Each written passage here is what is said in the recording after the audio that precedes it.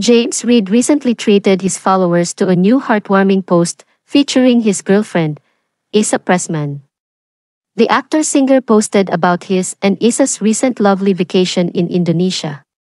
In his post, James shared a carousel of photos and videos showing them having fun in Ubud, Bali. The celebrity couple also tried out some mouth-watering food in the place.